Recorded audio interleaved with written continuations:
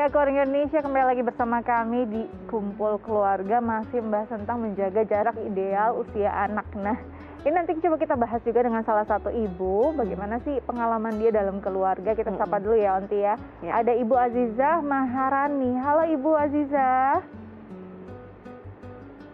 Halo Ibu Halo. Azizah. Apa kabar? Halo, alhamdulillah baik. Alhamdulillah. Baik. Ibu Ziza, hari ini kita membahas tentang bagaimana menjaga usia atau jarak usia anak yang ideal. Boleh tanya dulu nggak di rumah sendiri, Ibu punya berapa putra dan putri dan jarak usianya berapa tahun, Ibu? Kebetulan anakku putra dua-duanya dan Mm-mm. jaraknya tiga tahun. Hmm. Oh, cukup dengan jarak yang cukup ideal begitu ya. iya. Mm-mm. Nah, saat merencanakan punya anak kedua, Bu Hati, yang kedua, apakah memang sudah direncanakan juga nih usianya, jaraknya?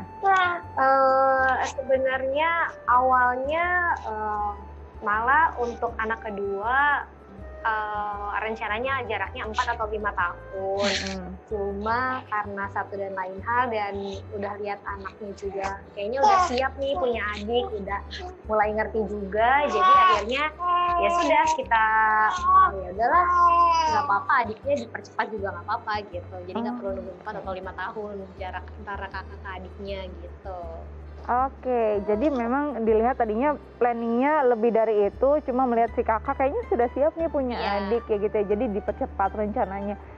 Melihat kesiapan si kakaknya waktu itu bagaimana sih eh, Ibu Aziza? Apakah memang pernah menanyakan hal tersebut pada anak? kita lihat dari hal kecil aja kayak berbagi mainan dia udah mulai bisa juga dan apa yang kita tanya dia juga udah bisa berkomunikasi dua arah kayak misalnya abang eh, mau ini terus dia udah abang mau ini dia udah bisa menentukan pilihannya jadi kayaknya kita merasa sebagai orang tua oh kayaknya dia udah siap dan kalaupun nanti punya adik dia mau apa, terus apa yang dia nggak suka, dan kalau adiknya minta apa, itu nanti bisa dikomunikasikan juga sama dia gitu. Hmm, oke. Jadi memang sudah observasi dulu, melihat dulu tingkah laku si kakak seperti apa. Nah, nanti sejauh mana sih ini penting untuk kadang mungkin usianya ideal nih tiga tahun gitu ya jaraknya. Tapi eh, kita perlu tidak sih memang eh, dan sejauh mana pentingnya melihat kesiapan anak pertama kita untuk memiliki anak eh memiliki adik. Iya. Nah, sebetulnya itu hal yang penting dan tadi saya setuju sekali sama Bu Asisa bahwa tadi tadi kan awalnya mau 4 tahun kemudian melihat Iya. bahwa di tiga tahun sudah siap nih. Iya. Jadi akhirnya eh, memutuskan untuk ya udah tiga tahun aja gitu ya. Nah, sebetulnya memang tingkat kesiapan anak kan berbeda-beda Mhm. ya dan tiap karakteristik anak juga berbeda-beda. Nah, sebetulnya anak siap apa nggak siap itu kita sebagai orang tua bisa kok maksudnya untuk mengatur bahwa untuk dia siap. Kita bisa menceritakan kepada anak pertama atau si Mhm. kakaknya bahwa kehadiran adik itu keuntungannya apa sih buat Ah, dia? oke. Misalnya contohnya nanti akan ada yang bisa temenin main Hmm. gitu kan. Terus kemudian nanti bisa bercanda bersama, bisa baca cerita sama-sama, bisa tuker-tukeran mainan dan sebagainya. Jadi ceritakan bahwa kesenangannya apa nanti kalau Hmm. punya adik. Terus sebagai kakak tanggung jawabnya apa? Sebagai kakak juga kemudian misalnya contohnya nanti bisa jagain dede, kemudian juga bunda bisa nanti minta tolong kakak kalau misalnya buat eh, suapin dede atau Mhm. siapin perlengkapan mandi dan sebagainya. Jadi supaya si kakak ini merasa bahwa wah aku menanti-nanti nih kedatangan si Ah, adik aku oke. gitu. Jadi sebetulnya kita yang bisa mempersiapkan dengan tadi apakah dengan menceritakan, kemudian juga misalnya mengunjungi saudara yang memang lagi punya dedek bayi gitu, atau kemudian dengan bermain peran dan sebagainya. Jadi banyak hal yang bisa dipersiapkan eh, kalau kita memang melihat dan kita memang tahu bahwa eh, kita sudah siap juga untuk memiliki anak kedua. Oh, oke. Itu yang menarik ya bagaimana biasanya kalau kita mau mempersiapkan seorang anak punya adik, kita dikasih tahu tanggung jawabnya nanti kalau jadi kakak gini loh, kalau jadi kakak seperti itu. Akhirnya dia mungkin bisa jadi, aduh repot ya pas jadi kakak ya. Padahal ternyata boleh dulu diajakin, eh, diajarkan untuk nyata gambarannya menarik banget kalau Iya. punya adik, bisa punya teman lain, hal-hal yang Mm-mm. menyenangkan gitu Iya. untuk betul. eh, pengalaman dia nanti jadi kakak. Mm-mm. Nah, Ibu Aziza, ini kan mungkin jaraknya akhirnya dipercepat begitu ya. Tapi masih balita, batita bahkan ya, berarti Mm-mm. balita dan eh, ada punya bayi. Ada tidak sih kendala tersendiri walaupun memang sebenarnya jarak usianya cukup ideal?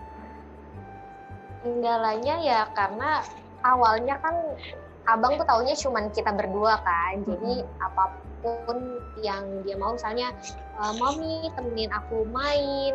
Maminya tuh langsung ayo kita main. Misalnya Hmm. mami aku mau ini ayo temenin. Uh, ibunya selalu siap gitu. Nah kendalanya adalah ketika dia punya adik jadi dia harus uh, tunggu ya nak. Mami mau beresin adik dulu atau mami mau susuin adik dulu. Jadi uh, itu yang harus kita latih pelan-pelan. Dia harus uh, ada kesabaran yang harus dia tunggu gitu. Nah itu sih yang paling sampai sekarang juga masih agak-agak sulit gitu Biasanya responnya apa saat oh ternyata ada entar ya ada adik dulu. Apakah pernah ada respon atau mungkin eh, feedback dari si kakak si abang ini terkait kondisinya saat ini? Eh, kalau misalnya dia lagi moodnya lagi baik sih Mm-mm. dia oke oke aja ya kayak misalnya tunggu ya nak mami mau susuin adek dulu iya abang Mm-mm. tunggu Hmm. nanti mungkin dia main dulu main mobil-mobilan entah apa bisa kita uh, selingin dulu kan tapi kalau misalnya moodnya lagi bete atau Mhm. lagi jelek dia tuh selalu minta "Eh, adeknya taruh aja mami nggak apa-apa nanti kalau adeknya nangis gimana nggak apa-apa taruh aja mami temenin abang dulu gitu nah itu yang Hmm. sampai Hmm. sekarang uh, masih terus dilatih sih gitu Oh, oke. Hmm. Jadi memang perlu latihan yang Hmm. terus begitu ya pelan-pelan karena ini juga kondisi yang baru buat si abang ataupun si Betul. eh, anak Ah. pertama ini begitu ya. Oke, Ibu Azizat sini ada psikolog kita di Jovita. Mungkin ada yang ingin ditanyakan terkait tema kita hari ini. Silakan. Oh, aku sih mau tanya nih Anti Jo, gimana sih eh, caranya supaya anak kan masih umur 3 tahun juga. Mm-mm. Kadang dia masih suka cemburu juga sama adiknya. Hmm. Gimana cara yang paling tepat supaya si abang ini kalau misalnya oh, kenapa sih mommy kalau misalnya kayak tidur aja gitu kan saya jadi sering deket sama adiknya. Nah kadang dia kenapa sih mommy kok sekarang tidurnya madep ke adik terus, madep ke Hmm. abang dong. Nah gimana caranya supaya lama-lama tuh dia mengerti kalau eh, mommy tuh tetap kok sayang abang nomor satu juga gitu. Hmm. Tapi sekarang abang punya adik, gimana cara untuk kita mengasih tahu supaya abang tuh mengerti gitu. Oh, oke. Anti. Iya. Ya, betul. ini jealous, cemburu terhadap adik kakak gitu ya. Ini kan Mm-mm. wajar ya, Anti. Tapi Iya. bagaimana caranya? Karena ini wajar, maklum. Tapi ini sulit loh dihadapi. Gimana tuh, Anti? Caranya? Betul. Caranya adalah yang pertama kita harus tahu untuk an- kan kakaknya lebih besar nih. Jadi Ya. memang sebetulnya yang lebih sadar, yang Hmm. lebih butuh perhatian ini kan yang besar.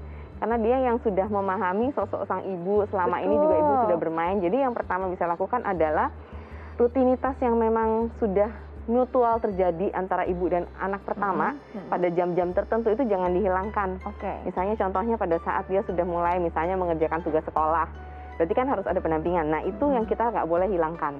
Jadi ada prime time namanya jam-jam tertentu yang memang itu milik si kakak sama si bunda Mhm. gitu. Jadi kalau memang kita mau melakukan hal eh, berkaitan sama adiknya, kita bisa ambil waktu di luar itu gitu. Atau bisa minta figur pengganti, misalnya contohnya ya, misalnya ada asisten atau Ya. kemudian ada sang ibu yang kemudian lagi di rumah membantu kita gitu ya untuk menggantikan tugas tersebut. Jadi selama bukan tugas yang memang menyusui Hmm, ASI memang betul, harus betul. si ibu sendiri gitu ya.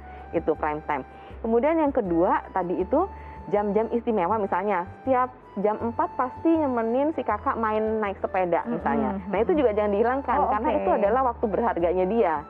Pasti dia akan marah kalau diambil. Jadi kita bilang ini, oke bunda temenin kamu jam 4 sampai jam 5 main sepeda seperti biasa, tapi begitu pulang nanti bunda bersih-bersih, kemudian bunda mandi, bunda gendong dedek ya, Mm-mm. karena dedek waktunya minum susu sama bunda. Jadi kasih tahu. Jadi dari sebelumnya udah dikasih tahu, habis ini apa, habis ini apa gitu. Mm-mm. Jadi dia ngerasa bahwa oh ini sudah direncanakan kok gitu, bukan Ah. tiba-tiba hak aku diambil begitu aja gitu. Oke, jadi jangan jangan direbut atau dihilangkan itu kebiasaan-kebiasaan yang memang selama ini dijalani akhirnya Betul. jadi tidak merasa itu diambil oleh waktunya diambil oleh kehadiran adiknya begitu ya. Betul. Dan Oke. ini ada saat-saat tertentu di mana kalau memang pada saatnya kita nggak memungkinkan untuk Mhm. misalnya membagi itu, ajak si kakak untuk bersama-sama kita. Jadi Ah. jangan kan ada yang begini, kamu nggak boleh masuk kamar dedek, nanti kamu berisik, dedek Oh. bangun misalnya. Nah berarti kan dia merasa bahwa dia dijauhkan dari dedeknya kan. Mhm. Tapi misalnya, ayo temenin bunda nyusuin dedek, Mhm. tapi di kamar jangan berisik ya gitu. Ah. Tapi kamu boleh kok di sebelah bunda bantuin tepok-tepokin dedek Oh, misalnya gitu. oke. Jadi dia merasa tetap dia disertakan. Oke, jadi merasa disertakan tidak tersisi, jadi benar-benar mencintai adiknya sama-sama begitu ya. Kira-kira seperti itu Ibu Ziza. Semoga bisa bermanfaat ya untuk diterapkan bersama putra-putri di rumah. Iya. Oke, Ibu Ziza tetap jaga kesehatan ya. Sampai jumpa. Sampai jumpa, Bu. Sampai jumpa. Sehat selalu. Iya. Sama-sama. Oke, itu dia ternyata melibatkan kakak secara fisik dan perasaan itu penting banget ya Onti ya agar dia juga Iya. terbangun rasa kasihnya terhadap adik ya. Iya, dan yang dikatakan tadi benar banget loh, Apa Dika. tuh? Perkara ini hadap ke mana aja bisa jadi masalah. Benar. Harus hadap ke kakak, jangan hadap ke dede. Harus di sebelah kakak, jangan di sebelah dede. Padahal kadang-kadang saat tidur juga dia nggak enggah gitu Oh, iya, ya. benar. Oke, nanti kita bahas lagi ini makin seru ya. Nah, keluarga Indonesia jangan ke mana-mana, tetap bersama kami di Kumpul Keluarga.